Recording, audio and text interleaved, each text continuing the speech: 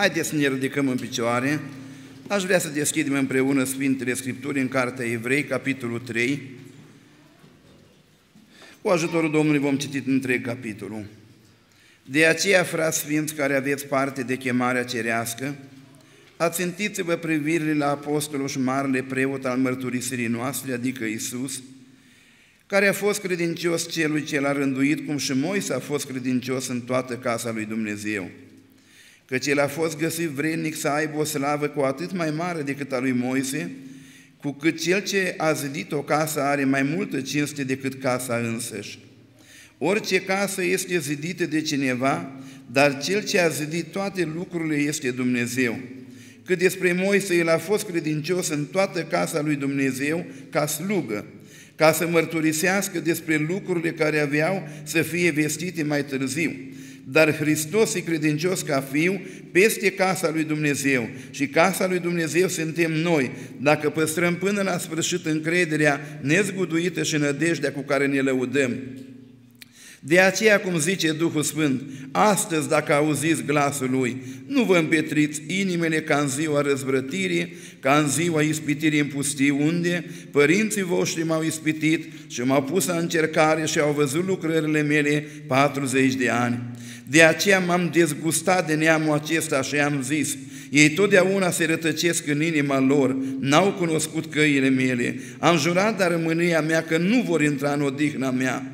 Luați seama, dar, fraților, ca niciunul din voi să n-aibă o inimă rea și necredincioasă care să vă despartă de Dumnezeu cel viu, ci îndemnați-vă unii pe alții în fiecare zi, câtă vreme se zice astăzi, pentru ca niciunul din voi să nu se împetrească prin înșelăciunea păcatului, căci ne-am făcut părtașa lui Hristos, dacă păstrăm până la sfârșit încrederea nezguduită de la început, câtă vreme se zice astăzi, dacă auziți glasul lui, nu vă împetriați împetriți inimile ca în ziua răzvrătirii. Cine au fost în adevăr cei ce s-au răzvrătit după ce au ziseră?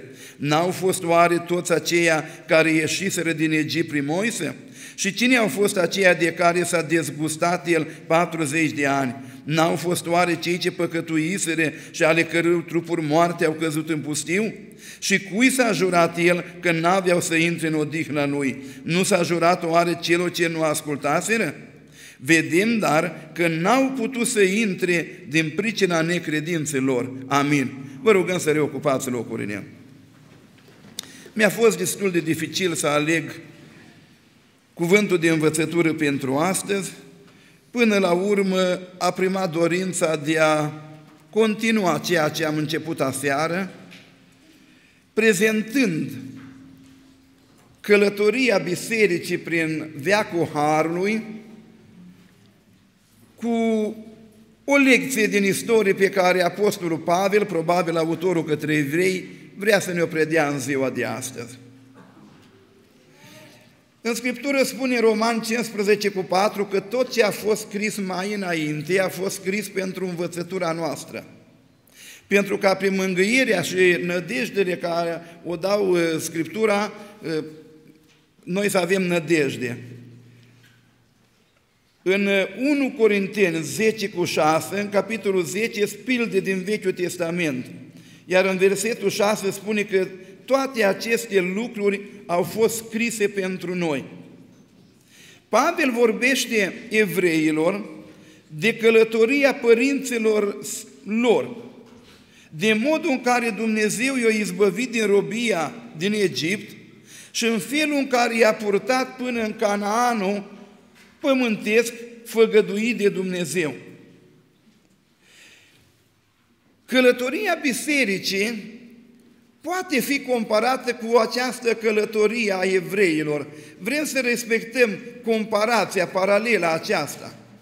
Au ieșit evreii din uh, Egipt și o întrebare legitimă pe care și-o pune orice drumeț, orice călător, este când ajungem la destinație. Eu am plecat de acasă și când am fost chemat la Roda și mi-au venit biletele, soția primul lucru a întrebat când vin apoi. Că e interesant în călătoria noastră când plecăm și când ajungem. Noi călătorim acum nu spre un Canaan pământesc, noi pornim spre cer, spre Dumnezeu, în raiul acela care ne așteaptă El. Și de multe ori, în încercările vieții, prin necazurile care le trecem, din pură curiozitate câteodată, ne întrebăm noi, ne întreabă frață, ne întreabă cei din familie, ne întreabă adunările, când ajungem? Și tot mai interesante sunt acele subiecte care tratează problema cu venirea Domnului Isus. Noi suntem în așteptare, fraților. Viața noastră e caracterizată de așteptări, dintr-o așteptare în alta așteptare. Și nu intrăm în, în discuția aceasta a așteptărilor. Dar peste toate așteptările noastre mărunte, noi avem și o așteptare mare. Așteptăm ziua când vine Domnul să ne cheme, așteptăm ziua când ne întâlnim pe, cu El pe nor de slavă, așteptăm ziua când pașii noștri vor intra pe porțile de aur al Ierusalimul Ceresc. Dumnezeu să ne ajute să ajungem acolo. Și în așteptarea noastră să ne dea încă răbdare și pocăință și Doamne ajută la aceasta. Spuneam că apostolul folosește aici metoda comparației. Prezentând nația evreiască cu Biserica Domnului, el spune că fiecare a fost uh, cârmuit, condus de un conducător. Și face comparația aceasta între Moise și Domnul Isus, face comparația între aceste două entități, poporul Israel și Biserica lui Dumnezeu, și compară cele două destinații, Canaanul pământesc și Canaanul ceresc, așa cum îl numim noi. Aș vrea să intrăm în cercetarea Sfintelor Scripturi și să vorbim încă o dată de izbăvirea evreilor din robia egipteană. Lucrul acesta s-a întâmplat la vremea potrivită. Când Avram, știți dumneavoastră, a adus acele jerfe Domnului, a venit un, un somn adânc peste el, păsări de pradă s-au năpustit asupra jerfelor, Domnul se prezintă lui Avram și îi spune hotărât lucru, poporul acesta va fi rob în Egipt 400 de ani. Ei au stat 430 de ani, dar robi au fost numai 400 de ani. În vremea lui Iosif n-au fost robi. Și acum, când predică Ștefan în fapte, capitolul 7, versetul 17, el spune, se apropia vremea când Dumnezeu trebuia să împlinească făgăduințele făcute părinților noștri. Vreau să vă spun tuturora, Dumnezeu are un timp pentru orice lucru. Eclesiastul 3 spune, fiecare lucru de sub soare își are vremea lui. Și dacă noi avem diferite stări sufletești, avem diferite necazuri, avem diferite probleme, avem diferite bucurii, așa cum ne le dă Domnul. Să știți că Dumnezeu are o vreme și un timp pentru fiecare. Cuvântul Domnului spune că oamenii zăceau în cel rău. Păcatul a întrerupt părtășia dintre oameni și Dumnezeu. Dar la împlinirea vremii, Dumnezeu a trimis în lumea noastră pe Fiul Său, pe Domnul Isus, care s-a făcut urzitorul unei mântuiri veșnice. Dumnezeu lucrează după ceasul Lui. Eu am trebuit să prezint într-o uh, tema conferinței ceva de venirea Domnului și cuvântul Domnului spunea în 2 Petru capitolul 3 ce fel de oameni ar trebui să fim noi așteptând și grăbind ziua venirii lui Dumnezeu. Și la versetul ăsta m-am împotmolit și n-am știut cum să o scop la capăt. Pentru că versetul acesta sugerează ideea că noi am putea grăbi venirea Domnului. Și unii spun, noi putem grăbi venirea ducând Evanghelia, când Evanghelia aceasta va fi vestită până la marge pământul, atunci va veni Domnul și alții spun categoric că noi nu putem grăbi venirea Domnului, că Dumnezeu are ceasul Lui. Spune vulpii aceleia, lucrez azi și mâine și a treia zi mă odihnesc, că Dumnezeu are planificarea Lui făcută și nu schimbă cu nicio secundă. Și când m-am împotmolit acolo, cum adică am putea noi grăbi venirea Domnului? Am un prieten în Grecia care vorbește bine grecește, îi prezbiter acolo. Și a spus, frate Ghiță, cum scrie în original, în limba greacă? Și apoi a stat, a vorbit cu frațe și spune, măi, în traducerea, am vorbit cu greci, original de acolo, în traducere ar fi înțeles că cineva așteaptă, iar alții se grăbesc să ajungă la el. Așteptând și grăbindu-vă, spunea el, că Dumnezeu ne așteaptă, iar noi trebuie să ne grăbim înspre El. Și am spus, domnule, sunt în dificultate cu tema conferinței de aici. Eu cred că Dumnezeu are vremea Lui. Și am multe mărturii că Dumnezeu are ceasul Lui și că Dumnezeu are vremea Lui. Și acum vine Scriptura și spune că la vremea hotărâtă, în ziua 10 din luna întâia să ia un miel să-l pună deoparte până în ziua 14, aceasta a fost vremea hotărâtă de Dumnezeu. Când vorbim de izbăvirea evreilor din Egipt, s-a făcut la vremea hotărâtă de Dumnezeu. Că rețineți un gând, în Apocalipsa spune bisericii, vei avea un necaz de 10 zile. Și eu am spus, da, dacă ăștia posteau și se rugau, era necazul de numai de 9 zile? Când vorbeam odată despre ceasul încercării noastre. Dumnezeu are ceasul lui, are vremea lui. Și după 400 de ani negreșit, n-au strigat evreii destul, n-au fost bătuți destul, n-au muncit destul, n-au fost călcați în picioare destul, dar Dumnezeu a spus, după 400 de ani, îi voi scoate din Egipt. Haideți să respectăm ceasul lui Dumnezeu și Dumnezeu să ne dea răbdare pentru aceasta. Dumnezeu folosește semne și minuni. Alege un conducător pe Moise, îl alege pe Domnul Isus, nu uh, repet gândul acesta. Dumnezeu folosește minuni. Aduceți-vă aminte de mâna plină de lepra lui Moise, aduceți-vă aminte de toiagul prefăcut în șarpe, aduceți-vă aminte de cele 10 urgii, când Dumnezeu s-a judecat cu, cu zeii Egiptului. Fraților, Dumnezeu folosește minuni și în ziua de astăzi. Eu am spus și pentru mine o mare minune este când un om păcătos se întoarce la credința în Domnul Isus.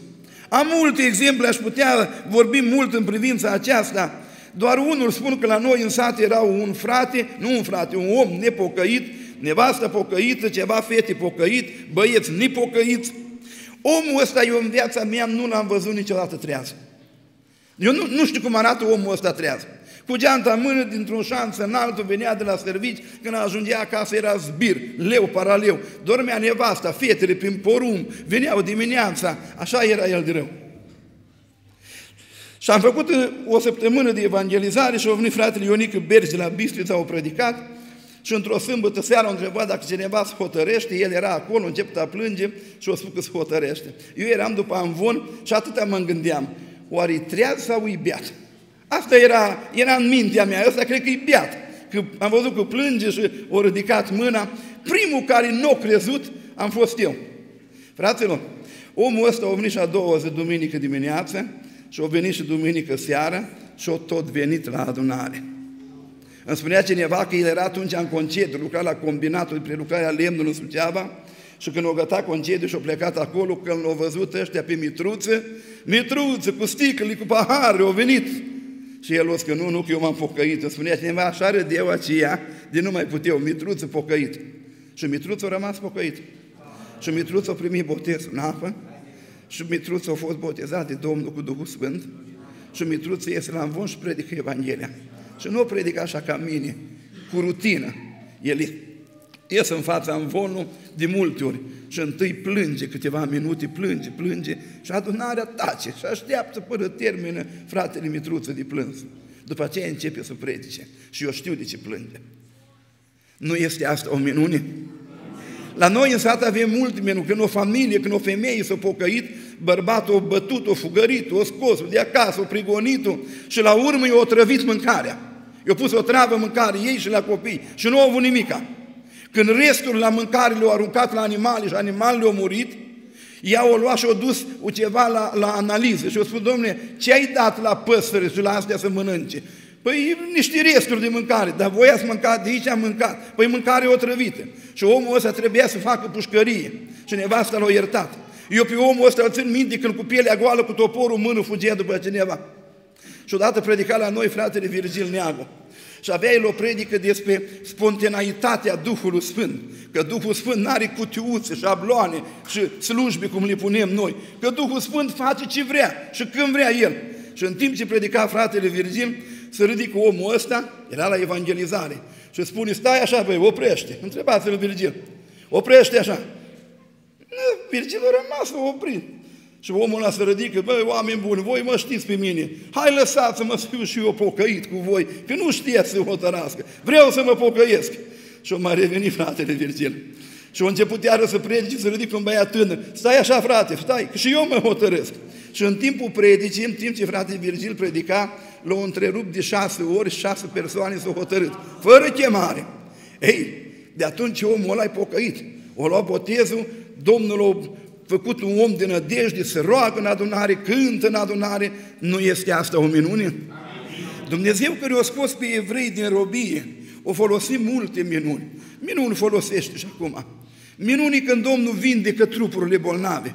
Minunii când Domnul eliberează pe cei stăpâniți de diavolul și sunt martori la multe lucrări din acestea, în care, pentru că boala actuală, și nu știu de ce la noi, îi depresia, îi stresul, descurajarea, teama. Frații mei, surorile mele, noi suntem copiii lui Dumnezeu. Dumnezeu e Tatăl nostru. Și nu-i nimeni mai puternic ca Tatăl nostru. Și atunci de ce să ne temem? N-are Dumnezeu o bucată de pâine în Spania pentru noi? N-are Dumnezeu o casă să ne odihnim, să ne creștem copiii? Pâinea noastră nu-i la spaniol, fraților. Mi-aduc aminte odată că o tânără a venit la mine și a spus, frate, lucrez la un patron împreună cu o fată pocăită. Și patronul îmi face avansuri, domnule, se dă la mine. Cred că fata aceea deja s-a dus cu el. Ce să fac? Băi, lasă de lucru. Frate, dar unde mai lucrez că nu mă angajează nimeni? Băi, copilul, uite la mine. Pâinea ta nu-i la patron, nu-i la austriac. Pâinea ta e la Dumnezeu. Că noi spunem, pâinea noastră, cea de toate zilele, de nou azi, spuneți rugăciunea Tatăl nostru, că acolo e prinsă pâinea ta și pâinea casă tale. Și Dumnezeu îți dă felia de pâine în fiecare zi. Și atunci de ce să ne temem? Și când venim și ne rugăm pentru cei care au probleme cu depresie și Dumnezeu îi eliberează, se înseninează și merg mai departe în pocăință, nu e o minune asta? Eu aș dori ca Domnul să mai facă minuni și între noi, fraților. Și apoi cuvântul Domnului spune că Dumnezeu i-a scos printr-un conducător. Dumnezeu a folosit minuni acolo. Dumnezeu o așezat o rânduială între evrei. Când le-a spus, păstrați mielul până în seara a 14 între cele două seri să junghiați mielul și cu sânge să ungeți ușorul de sus și pragurile, pe la de jos să nu puneți, să nu călcați în picioare. Fiecare evreu să-și adune casa și copiii și familia să stea în cort, că pe la miezul nopții îngerul cu sabia muiată în sânge urca prin delta Nilului la deal. Și spune Biblia că în toate casele egiptenilor și în palat aprind lumini, întâi născuți de la dobitoc până la oameni, toți mor. Numai în Gosem nu era niciun schelălăit de câine. Era o liniște și o pace de plină. Dar Dumnezeu a pus rânduială acolo. Că dacă mergem comparând biserica, eu spun tuturora că Dumnezeu este un Dumnezeu al rânduielii ca în toate bisericile sfinților, amin? Nu fugea îngerul Domnului după ieșurum, știți poezia, să-l bagi în colibă, că ăsta nu stă acasă, că umblă pe drumul, nu, nu. Nici măcar îngerul se pare că n-avea curiozitatea să verifice ce fac evreii, să dea ușa cortul la o parte, să văd cântă, să roagă. Nu era treaba îngerului. Treaba îngerului era să se uite la sânge. Ce era înăuntru, îi treaba lui Dumnezeu. Noi ne aflăm acum sub pecetea sângelui Domnului Isus. Nu-i treaba îngerului. El se uită că suntem sub pecetea sângelui și ne ocrotește. Am aici o nedumerire. Spune că sângele acesta era un semn. Sângele era un semn pentru îngeri. De ce îngerii lucrează cu semne, să iau după semne? Chiar credeți că îngerii nu știu carte? Nu putea Dumnezeu să-i dea un tabel și să spună seminția Ruben, Iuda, Simeon, Isahar, Zabulon, Gad, Neftali, ăștia, domnule. Citește, strigă și ocrotește. Dar nu a făcut Dumnezeu. le-a dat un semn. Acum, apropo de întrebările de ieri, spune Biblia că din pricina îngerilor, femeia trebuie să aibă un semn al stăpânirii. Eu nu vin cu rânduiala de la noi la adunare, că nu o primiți nici pe ea și nu mă mai primiți nici pe mine. Eu am spus la noi, toate surorile sunt cu batic gros, așa, legat în față și nu-i niciun altfel, nici o fetiță adusă la binecuvântare, dacă vrem. Toate surorile, eu nu vin cu rânduiala asta, dar trebuie să aveți un semn al stăpânirii, na, un semn să aveți al stăpânirii voastre. De ce lucrează îngerii cu semne? Nu știu. Nu, nu știu să explic. La Sfântul Ilie era repetiție de cor, au cor mare de 100 de persoane. Și era fratele Vasile Lungu, uh, om de ordine. Ăsta au fost de toate. Și bătăuș, și tăia de cuțit, și fotbalist în divizia A, și pușcăriaș. Acum s-a pocăit și era de ordine. Și în timp ce era repetiție de cor, vine o soră tânără, nu mai putea trage aerul, sufla greu cu poșeta în mână și ăsta spune, iese, ce-ai, ce-ai pățit, măi, fată, ce? Frate Vasile, a fugit un golan după mine să mă prindă. Vasile se uită așa și spune, măi, dacă aveai batic pe cap, îngerul Domnului te ocrotea. Că ea n-avea. Dar ea spune, nu-i de asta. Apoi dacă nu-i de asta, du-te și mai dă vă două turi ca să te înveți minte că e de asta. Știi? Cunosc o familie din Italia, din Roma. Dacă vreți să-i spun numele. Ă, era, acum s-a mutat în Suceava. S-a mutat cu toată familia, au venit în Suceava, locuiesc în Dumbrăvin, dacă ă, nu le spun numele, că îl știu foarte bine. Sora era acasă și pe când era sora acasă, dar avea o pocăință așa cum o avem noi câteodată. Mai merg la adunare, mai lipsești nu știu câte duminici, bate îmbrăci cuvincios, bate îmbrăci ca lumea, ba, așa, căldicel, știi? Și la un moment dat, spunea sora asta, a venit diavolul în fața ei. O apariție hidoasă, înspăimântătoare și a spus, am venit să-ți iau viața. Dar pentru că ai fost dus la binecuvântare și sunt mijlociri pentru tine, n-am ce să-ți fac. Dar mă duc să-l omor pe bărbatul tău. Sora asta spunea, măi, eu când am văzut cu ultimele puteri, așa că era o groază, am spus, sângele Domnului să te mustre. La care diavolul îi spune, care sânge? Că tu ai, și eu spus exact, avea ani de zile de când nu te-ai împărtășit cu sângele Domnului. Pentru mine asta a rămas o întrebare. Eu merg prin adunări și cina Domnului și mă împărtășesc. Și mă duc acasă și uit la nevastă și spun, măi, nevastă, azi am luat cina. Sau să spun la comitet. Dar uite că Dumnezeu știe când ai luat cina și diavolul știe. Că îi spune, care sânge? Tu ai și eu spus exact atâta de când nu te-ai împărtășit. Și în momentul acela o dispărut diavolul, ea se duce în bucătărie să pui mâna pe telefon. Și îmi spunea sora, frate, în ușa bucătăriei era un înger puternic, strălucitor. Mi-am dat seama că e îngerul Domnului și am vrut să-i spun ceva. Și el mi-a spus, acoperă-ți capul, n-am voie să vorbesc cu tine. Și i-au pus mâna pe telefon și l-au sunat, măi, la bărbatul ei, ai grijă. Și el spune, lasă-mă în pace. Și eu, că acum ea într-o intersecție, într-un sens giratoriu, eu aveam prioritate, am venit un tir să treacă peste mine. Nu știu, numai Dumnezeu m-a scăpat. Nu știu de ce îngerii ăștia lucrează așa cu semne. Revin la, la textul de care vorbeam. Și era acolo un gosem, niște semne. Sângele e un semn pentru îngeri. Dumnezeu o hotărât o rânduială în seara aceea. Și a spus în tabăra lui Israel, asta e rânduiala. Și în Biserica Domnului este o rânduială. Nu face fiecare cum vrea. Mi-aduc aminte că la noi, care suntem o biserică conservatoare, au venit frați mai târziu din sat, ă, oameni, fete, băieți, s-au pocăit și le spunea fraților, prea ne țineți așa cumva strâns, uitați-vă cum e acolo, uitați-vă cum e acolo. Și s-a ridicat fratele Ieremia în picioare, omul ăsta a fost 35 de ani prezbiter. O lăsat acasă 10 copii și au plecat în pușcărie pentru credință.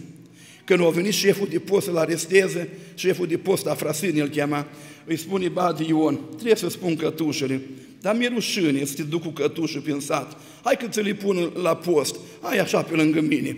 Și l-a dus, o lăsat copiii, o făcut pușcărie. Și acum fratele Ion s-a ridicat și a spus, măi, oameni buni, eu m-am pocăt din tinereța mea, Înainte de a mă căsători, eu m-am pocăit, am venit la adunare, am găsit niște frați bătrâni aici, mi-a plăcut felul lor și m-am hotărât cu dânsă. Voi ați venit mai târziu, unul câte unul, tot ați venit și v-a plăcut cum suntem noi și ne-ați găsit așa și ați spus că e bun și ați venit că e bun așa. O mai trecut câțiva ani și spuneți că nu e bine la noi. Și spuneți că să ne schimbăm noi. Apoi eu nu mă schimb după voi. Voi aici ne-ați găsit, așa ne-ați găsit și așa rămânem noi. Noi nu ne schimbăm în pocăință și voi faceți ce vreți. Știți? Dumnezeu are modul lui de a lucra cu noi. Are felul lui de a lucra cu noi. Să nu ne temem niciodată de prea multă smerenie și de prea multă pocăință. 35 de ani a lucrat la cfr 10 ani a reparat locomotive. Locomotivele astea sunt mari, 22 de metri au de la tampon la tampon. Și au niște șuruburi mari, așa că puneam o cheie de 75 și cu o țapă de 2 metri strângem șuruburile. Și când venea peste o lună, te jucau așa. Dacă un șurub, un bulon, uitam să-l strâng peste o lună, nu mai era deloc. Trebuia să o duc la reparat. Acum noi în adunare, ca și conducere, mai strângem șurubul pe aici, pe la batic, pe la fustă, pe la instrumente, pe la negative, pe la... ne mai strângem, că ele de la sine mai cedează așa. Nu-l strângem nici ca să rupem, că avem simț totuși așa, dar mai strângem un pic lucrurile, că ele își dau drumul de la sine. Hai să vorbim de ieșirea evreilor din Egipt. Dumnezeu a ales o vreme, le-a ales un conducător, o folosit minuni, o pus o rânduială și Dumnezeu, spuneam aseară, l-a trasat un drum, le-a croit o cale, a spus, nu, pe aici voi trebuie să mergeți. Rețineți un gând, frații mei, în călătoria lor evrei au întâlnit mari obstacole, pe care ei ca și oameni nu le puteau trece. Ca așa le întâlnim și noi în viața de pocăință. Dar Dumnezeu este Cel care a dat la o parte toate obstacole. Cât de isteți trebuiau să fie evrei ca să poată despica Marea Roșie? O puteau despica? Sau ca să facă să cadă zidurile Ierihonului, puteau vreodată face asta? Niciodată. Dar ce nu puteau face evrei, o făcut Dumnezeu în călătoria bisericii, prin viacul ăsta al Harului, ce nu pot face eu și nu poate face casa și familia mea, face Dumnezeu. Greutățile mari, problemele mari, în drumul ăsta care l-a trasat, El despică marea, El oprește Iordanul să nu mai curgă, El mută munții, că El e Dumnezeu. Și puterea este a Domnului, amin? Asta face Dumnezeu când îi scoate pe evrei de acolo. Dar acum, Urmează un alt gând care l-am, l-am numit eu rătăcirea evreilor. Evreii, frații mei, practic, n-au rătăcit prin pustie, așa cum am gândit eu întotdeauna, că n-aveau cum să rătăcească, că evreii erau călăuziți de un nor și de un stâlp de foc. Dacă evreii ar fi mers în linie dreaptă așa cum au plecat, cum au plecat ei până în, pus, în peninsula Sinai, erau 320 de kilometri. Calculați cât trebuiau să facă ei, 320 de kilometri. Dar vine Scriptura în număr capitolul 33 și spune că ei au plecat din Ramses și au luat-o bine spre Canaan și au tăbărât la Sucot. Au plecat din Sucot și au tăbărât la Etam. Din Etam s-au întors înapoi, îngerul mergea înaintea lor. Îngerul mergea așa, ei mergeau după stâlpul din nor și după stâlpul de foc. La un moment dat, stâlpul de foc o ia înapoi. Ce călăuzire asta? Și s-au întors înapoi la Pi Hahitirot, față în față cu Baal Țefon la Megidol, la, în fața mării.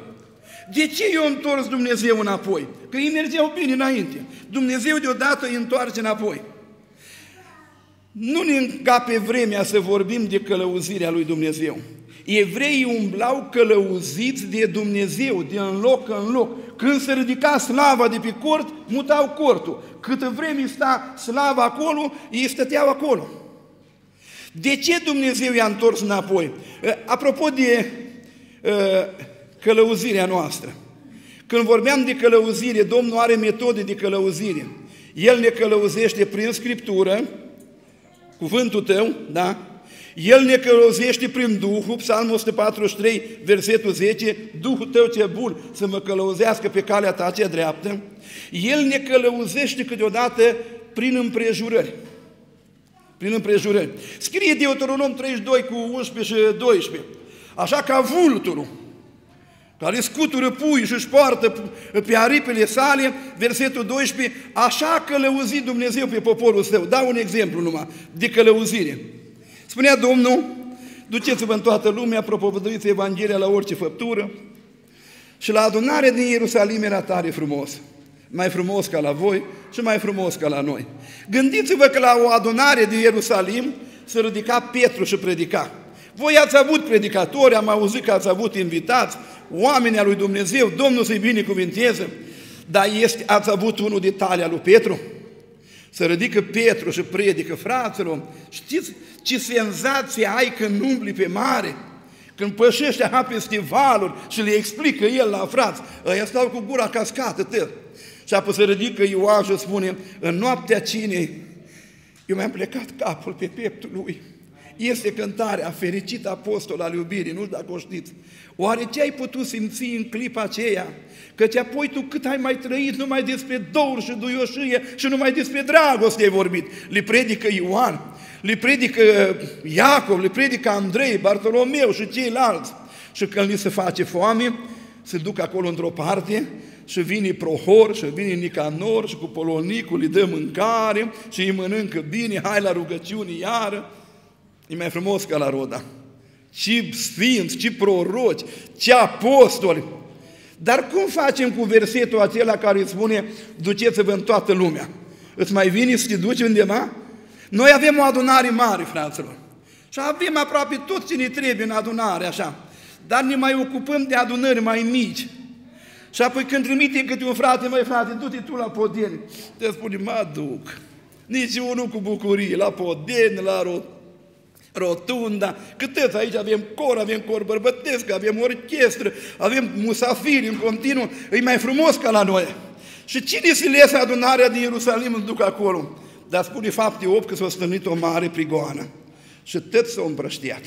Și au ajuns Filip în Samaria și predica Eva. Omul ăsta era diacon, până atunci număra polonicile și castroanele, să nu lipsească. Dar când ajunge în Samaria, Dumnezeu face minunși și semne prin el. Nu e o călăuzire prin împrejurări. Eu stârnit Dumnezeu așa, eu am fost în Pamplona, aici în Spania, la rezervația aia de vulturi, mii de vulturi. Am văzut vulturi care aveau avengură așa de 3 metri și ceva, care au cuiburile cățărate în stânci, și îmi spuneau cei de acolo că vulturul, dacă vrei să-l fugărești la deal, îl prinzi. El în deal nu poate să zboare că nu-și face elan. Numai dacă e în vale, apus aruncă și își dă drumul. Își dă drumul de pe vârful stâncilor și zboară. Pui de vulturi îs leneși. Spun oamenii de acolo, cercetători. Și când ei nu vor să zboare, vine vulturul și le strică cuibul. Ia cu ciocul și le strică cuibul. Și după ce îl strică cuibul, pui rămân în aer și zboară. Și vulturul se așează sub ei, îi ridică la înălțim și iar le dă drumul. Și când vede că obosesc, iar îi ridică lecții de zbor. Așa spunea Moise, ca vulturul care scutură cuibul și își poartă puie. Așa face Domnul cu noi. Câteodată suntem comozi, ni cald, servici bun, bine în familie, bine la adunare și vine Domnul și ne scutură cuibul. Și ne-a scuturat cuibul de prin România și ați ajuns la rod aici, cu o trai să și cu nimic, cu familia după voi, Doamne, depind de Tine, Doamne, ai milă, că în România n-am la ce să stau. Și alții sunt năcăjiți acolo, unii sunt năcăjiți aici, așa cum dă Dumnezeu. Nu vă judec că ați venit aici, dar gândiți-vă că Dumnezeu v-a adus cu un scop aici. Nu ca să vă cumpărați șapte terenuri în România și vă faceți două case în cuietni în care nu stă nimeni. Mai sterge mama ferește. V-a adus aici să fiți lumină. Aici sunt sute și mii de români care nu-L cunosc pe Domnul, chemați-i la pocăință. Aici sunt spanioli care trebuie să vadă în voi lumina. V-a călăuzit Domnul prin împrejurări, v-a scuturat cuibul și v-a purtat pe aripile Lui până în Spania. E călăuzirea lui Dumnezeu și Dumnezeu să fie lăudat. Amin? Și apoi vine Scriptura și spune că i-a întors înapoi, i-a trecut prin Marea Roșie ca să-i boteze, botezul a fost în mintea lui Dumnezeu și i-a botezat în mare pentru Moise și i-a dus în pustiu. Frații mei, fiecare din noi are pustiul lui. Și evreii au trecut prin cel puțin trei locuri pustii. Pustia Sin, pustia Sinai și pustia Cades. Toate trei au ceva specific, dar Dumnezeu te trece și pe tine printr-un loc pustiu, ca să dobândești o experiență a pustiului. De aceea nu te întreba, Doamne, dar eu mergem bine, de ce m-ai întors înapoi? Că au vrut un copil să dea la o școală, s-a pregătit și i-a spus Duhul Sfânt, nu da acolo, dă la școala cealaltă. Și o dat la cealaltă și nu, nu a reușit, a căzut. Și spune, ce călăuzire, de ce am ajuns la pustiu? Că un băiet a vorbit cu o fată de care îi plăcea, sau mai că se îndrăgostise. S-a dus înaintea Domnului și a spus, Doamne, voia ta, și spune Domnul, nu, nu e ajutorul tău. Și spune, măi, fată, n-am ce-ți face, Ă, trebuie să ne despărțim, dă mâna, rămânem prieteni, fata să mărit, are familie, are copii și el e tot ninsurat și nu se mai leagă de niciuna. Și mă întreb, dar de ce nu a trecut Domnul prin pustie pe aici? Și așa e și cu serviciu, și așa e și cu multe lucruri. De ce? Dacă aveam un drum bun, un gând bun, vine călăuzirea Domnului, mă întoarce și mă duce la pustiu. Toți oamenii mari ai Evangheliei au trecut prin pustiu. Moise a avut parte de pustiu, Ilie a avut parte de pustiu, Domnul Iisus a avut parte și tu treci prin pustiu. Pentru că a spus Dumnezeu, evreii spricoși. Evreii ăștia au fost numai rob, numai bătut, ei știu să frământi hlei și să facă cărămizi. Nu-i dau pe acolo să vadă războiul, scrie în Biblie. Am să-i duc prin pustiu întâi să se întărească, să prindă un pic de curaj. Pentru că pustia este locul unde Dumnezeu îți testează puterea să vadă cine ești, cât de tare și pustiul este locul în care Dumnezeu îți dă putere. Pustia este locul unde înveți răbdare, câte privațiuni, Credeți că le-a fost așa de ușor la evrei, când au trecut Marea Roșie și au mers prin pustie trei zile, femei gravide, oameni cu copii în brațe, colbăiți de pe nisip, de pe acolo, flămânzi, însetați, ajung la Mara și când ia apă să bei apele erau amare. Credeți că le-a fost ușor asta lor? Nu le-a fost ușor. De ce i-a trecut Dumnezeu? Ca să-i învețe răbdarea și Dumnezeu ne ia dintr-un loc binecuvântat și ne duce în pustiu. Călăuzirea Domnului ne duce în pustiu. Stâlpul de, de foc se întoarce și spune, vine după mine. Și mă duce în pustiu, aici, în Spania. Mă întreb, de ce, Doamne? Ca să mă învețe răbdarea, ca să mă învețe să-mi dea speranță, că să uitau evreii ăștia pe, printre corturi, peste duni și au spus, cât mai ține pustiul ăsta? Într-o zi se va termina și vom ajunge în Canaan. Să ne dea Domnul nădejdea asta. Vrea Domnul să ne învețe, de aia e bună pustia, ca să ne învețe ce înseamnă a iubi dezinteresat. Că dacă evreii îl iubeau pe Domnul în Canaan, îl iubeau că aveau fântâni cu apă și cetăți, aveau vii și smochini, stătea la umbra măslinilor.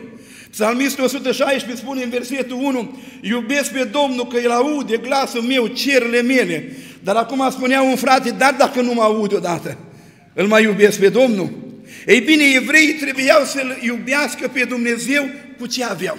Doamne, eu te iubesc, inima îmi spune din partea Ta, caută fața mea și fața Ta o caut, Doamne. Să căutăm părtășia cu Domnul. Cineva spunea că noi căutăm mâna Domnului. Dă-ne, fă-ne, ajută-ne, ridică-ne, întărește-ne.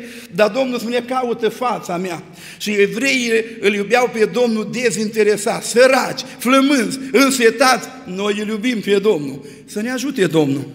Și ne învață dependența de Domnul. Spunea Domnul Iisus, despărțiți de mine, Ioan 15, nu puteți face nimic.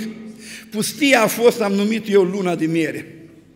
Acolo nu mai erau străini, nu erau alții bovnici, nu era nimeni, era luna de miere. Și apoi Dumnezeu în Deuteronom 32 spune, l-am găsit în pustiu, l-am ocrotit, ca pe o mireasă o luat de acolo. N-avea, n-avea rival acolo Dumnezeu. Era părtășie El cu Dumnezeu. Știi că în pustia asta te îndrăgostești la urmă de Dumnezeu? Vezi că depinzi de El, vezi ajutorul lui Dumnezeu și dragostea ta pentru Dumnezeu crește mai mult. Dumnezeu să ne dea putere, amin? Dar gândul meu, dacă vreți, titlul predicii mele, că spuneam că evreii nu au rătăcit prin pustie, că evreii erau călăuziți prin pustie. Dar vine versetul 10 care l-am citit și în versetul 10 spuneau așa, De aceea m-am dezgustat de neamul acesta și am zis, ei totdeauna se rătăcesc în inima lor. Evreii au rătăcit, dar au rătăcit în inima lor.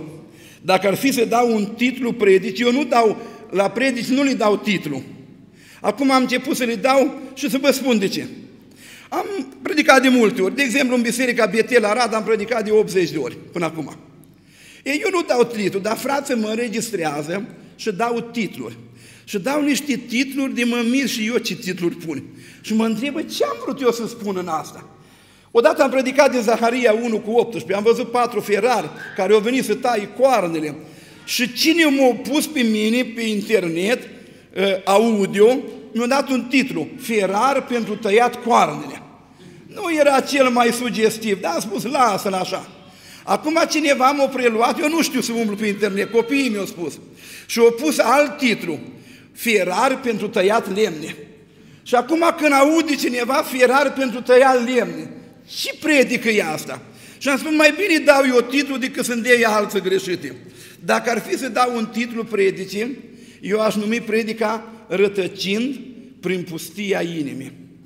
Că evreii au rătăcit în inima lor. De aici a început. Ei mergeau pe drumul acela trasat de Dumnezeu. Dumnezeu le-a dat la o parte toate uh, uh, greutățile, toate obstacolele. Dar vine versetul 10, spune, da, ei au rătăcit, dar au rătăcit în inima lor. Și au făcut un prim pas deoparte. De la traseul dat de Dumnezeu, o călcat odată lateral. Vorba noastră a românilor, o luat pe arătură. Care a fost primul pas greșit? Vorbeam de Rifidim. Ajung acolo la Rifidim, apele amare, se întâmplă ce se întâmplă, poporul însetat, se uită împotriva lui Moise, îl judecă în mintea lor și când poporul tânguie acolo, când copiii scânceau acolo, văd că vine o armată, Amalek îi înconjoară. Și în Exod, capitolul 17, cu versetul 7, evreii pun o întrebare. Oare Dumnezeu mai este cu noi? Mai este Dumnezeu în mijlocul nostru? Îndoiala, necredința, a fost primul pas în rătăcirea lor. Fraților, eu vă întreb, când aveți bolnavi în casă, Dumnezeu mai este cu voi? Și când vă dă afară din servici, Dumnezeu mai este cu voi? Și când aveți probleme chiar în adunare și cineva se ridică împotriva ta și te face de nimica, Dumnezeu mai este cu noi? Și au apărut problemele astea, flămânzi, istoviți, însetați, atacați de Amalek și evreii au spus, oare Dumnezeu mai este cu noi? Îi primul pas am îndoiele, desnădejdea. Cântarea veche spunea, e vermele ce roade la rădăcina ta, dușmanul cel de moarte numit desnădejdea. Nu știu dacă știți cântarea. Când vrei a ta rugă în ta, prezentă și desnădejdea. Și începe a-ți arăta ce mare vina și spune, nu te mai ruga. Asta e desnădejdea, că ai greșit, că ai căzut, că ai păcătuit, vine desnădejdea. Dar ultimul vers a cântării spunea, dar vermele ce roade la rădăcina ta, învins a fost de Domnul pe cruce că răbda. Să ne dea Domnul nădejde în ziua de azi. Dacă cineva a căzut în desnădejde, în neîncredere, în îndoială, în necredință, hai pe calea Domnului înapoi în ziua de azi. O venit diavolul în grădina Eden, tot fel de copaci, îmi imaginez, frumos, flori. Și a venit și el cu un pumn de sămânță și o aruncat acolo. Și sămânța asta tare o mai încolțit. Și a spus diavolul către Eva, oare a zis Dumnezeu? Și oare acesta face victime până în ziua de azi? Să dispar familii. Oare nevasta mi fidelă? Oare bărbatul mi credincios? Oare păstorul are dreptate? Oare comitetul așa? Oare, oare, oare? Și sămânța îndoiele aruncată de diavolul o crescut și o înflorit și o ajuns până aici. Dacă îi careva pe punctul de a se abate de pe calea Domnului, de lângă stâlpul ăla de foc care ne călăuzește și o căzut în necredință. Haideți să ne întoarcem înapoi. Amin? Urmează un alt pas greșit făcut lateral, stări sufletești nepotrivite. Apar la evrei nemulțumirea. Sunt aici frați care sunt nemulțumiți? Sunt surori nemulțumite? Aveți așa un sentiment de nemulțumire? Eu am o predică specială de mulțumire, nu predicăm azi. De mulțumire, de nemulțumire, dar dacă sunt din aceia care sunt nemulțumitori, să se pocăiască azi. Că eu am spus trei stări care sunt ca trei surori, așa, una mai mică, una mai mare și una mai mare. Prima surioară mai mică e nemulțumirea. Tot stau așa, așa nu-mi place cum predică, o predica prelung, nu? Nu e așa că predic prelung. O predic, o cântat, o striga prea tare. Mie nu mi-a plăcut că negativ a fost dat prea tare. Am spus negativul la voi chiar e negativ, nu, nu se joacă. Nu-mi place cât e ceva. Ei, dar nu rămân la nemulțumire că vine sor să ai mai mare cârtirea. Știți că evrei au cârtit? Și dacă aș ține nemulțumirea în mine, n-ar fi bine.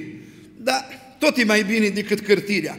Dar încep să-i spun, ui la ureche, bă, da, ăsta așa, da, ăsta așa, dar tu ai văzut, să vezi pe hol acolo discuții la urmă. Asta e cârtire, e sora mai mare. În Evrei 11, nu, în numeri, capitolul 11, spune, parcă în versetul 4, dar de la, de la 1 începe nemulțumirea. Ă, adunăturii de oameni din tabăra lui Israel, ba chiar și copiilor lui Israel, le-au venit poftă. De ce le-au venit poftă? Le-au venit poftă de praj, de sarmale, de usturoi.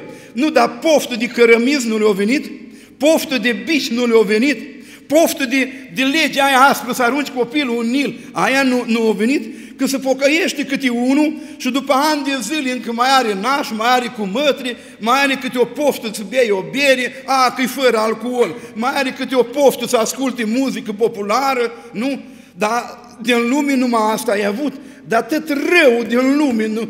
Și, și biciul, și, și robia, și legăturile diavolului, de acelea nu ți-aduce aminte?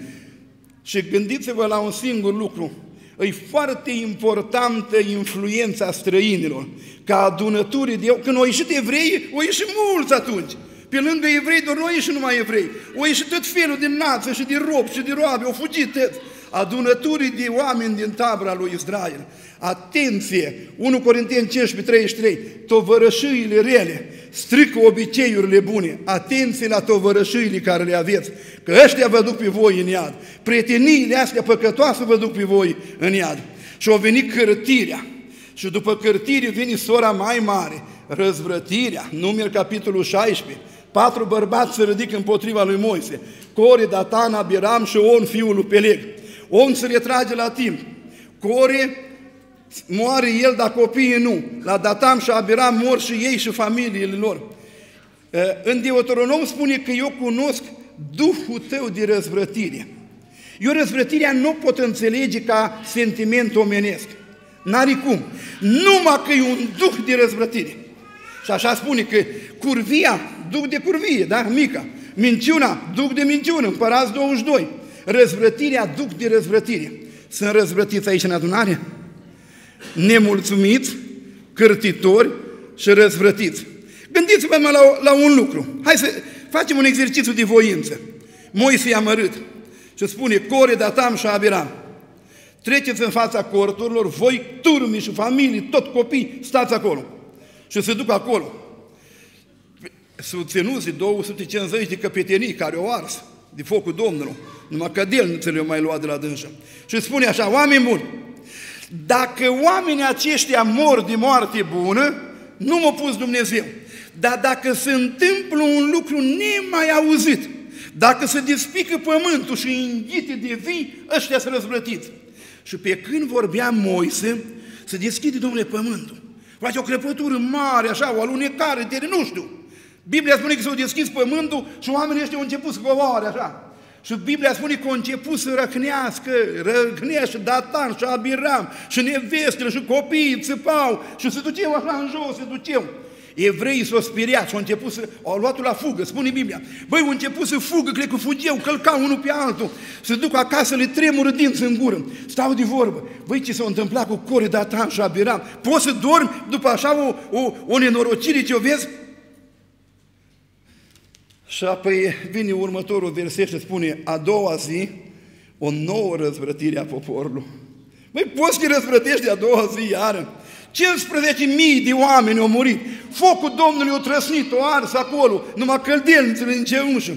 Și a doua zi, o nouă răzvrătire a poporului. Îi omenește asta? Nu. Îi drăcește asta. Atenție la ăia care aveți nemulțumiri, care aveți cârtiri și care aveți răzvrătiri. Astea nu sunt din Duhul Domnului, astea sunt de la diavolul. Hai să ne întoarcem la pocăință înapoi. Amin? Și apoi este o expresie în Scriptură că unii au pus vârf păcatelor. Au pus vârf păcatelor și evrei au pus vârf păcatelor. Exod 32. Vițelul de aur. Vreți mai mult decât atâta? Moise pe munte, 40 de zile, ăștia cântă, joacă, dansează, mănâncă, biu și când vine Moise, Iosif va spune, măi, ceva gălăgie în tabără, e război. Ascultă Moise, nu-i nici glas de biruitor, nici de birui, e glasul unui popor care cântă și joacă. Și când vine, vede vițelul de aur și îi jucau acolo. Să-i supără Moise, trântește tablele. Și spune, băi, Aron, ce ai făcut? Și Aron justifică păcatul așa ca un copil de trei ani.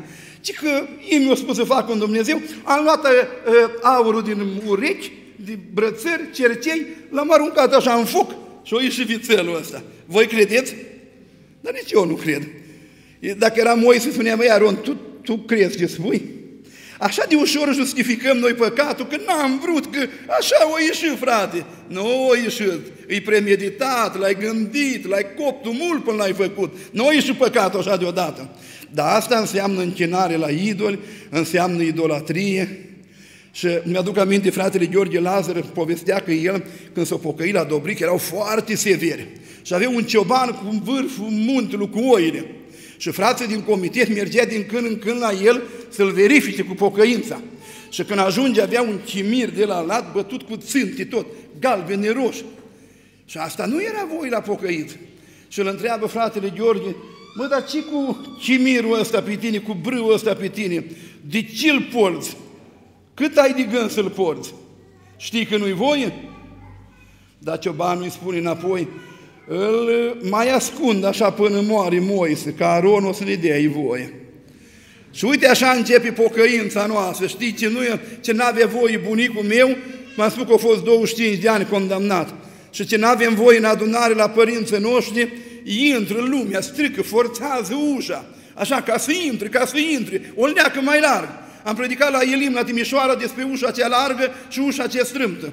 Și le-am spus acolo o întâmplare, când m-am dus odată la o nuntă, nu eram invitat, m-am dus mai târziu la Vonou și ceva, intra Mirle și Mireasa în adunare, eu nici nu știam că e nuntă. Și atunci am văzut prima dată rochii de mireasă cu cerc de sârmă jos, așa larg. Un, o rochie mare, eu mă miram cum de mi-a spus cineva că are o sârmă beton pusă și stă așa rochia largă. Dar problema e că au vrut să intre în adunare și era deschisă numai jumate de ușă. Dacă ei tot au intrat frață pe ușa aceea și acum voia să deschidă partea a doua și nu mergea că era ruginit. O dus unul un patent, o șurubelniță, o zdrelilă, deci nervos. Nu s-a mai deschis partea a doua.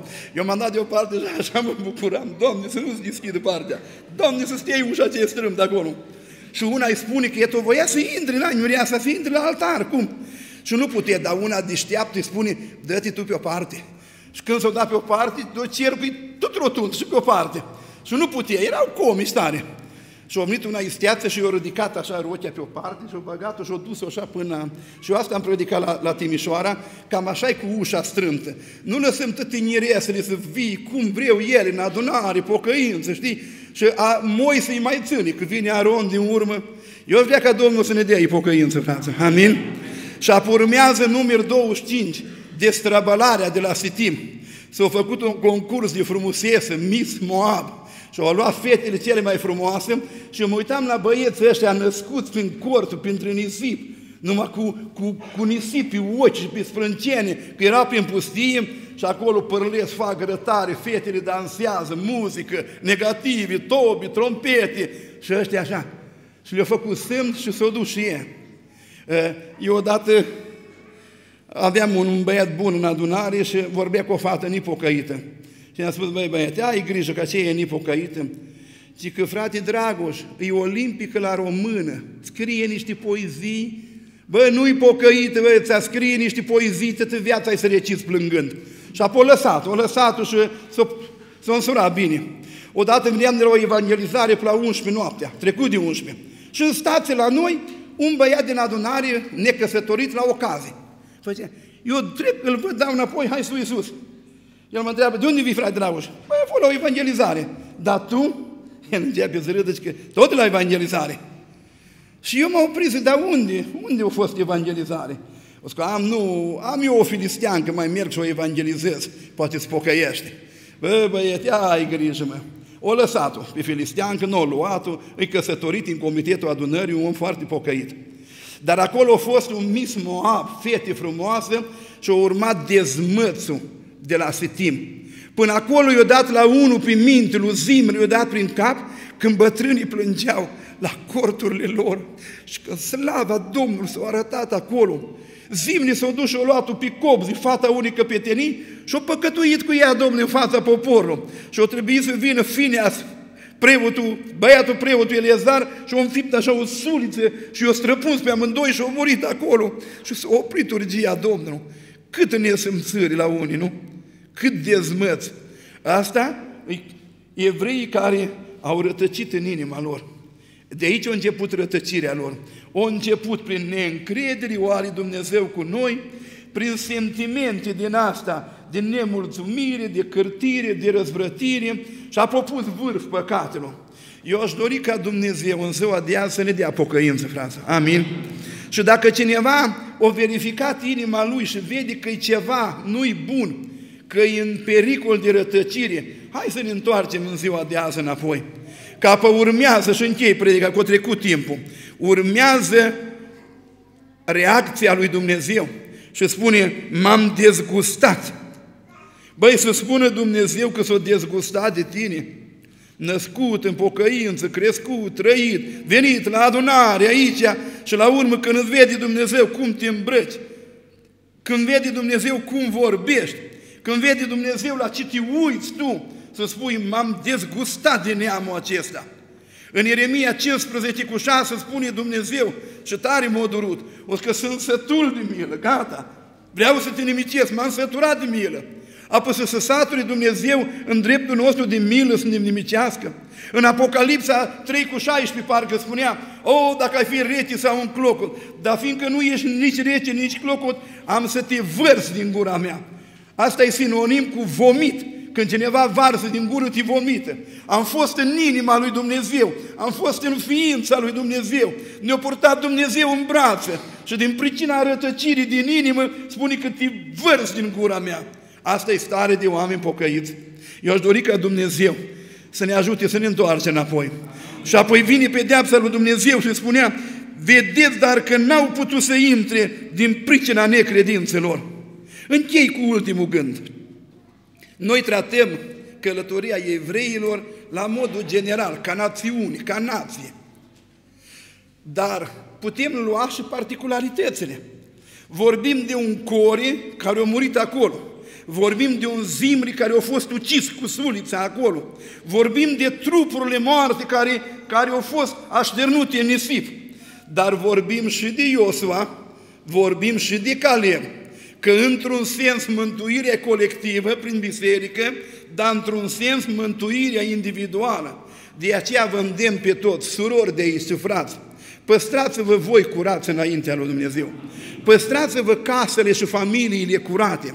Și vă rog, frați din la Roda, păstrați adunarea asta curată, așa cum e adunarea Domnului. Amin? Și apoi, în modul general, am vrea să ajungem toți, dar în mod particular eu vreau să ajung și închei, recitind încă o dată versetul 12. Luați seama, dar fraților, ca niciunul din voi să n-aibă o inimă rea și necredincioasă care să ne despartă de Dumnezeu cel viu. Amin.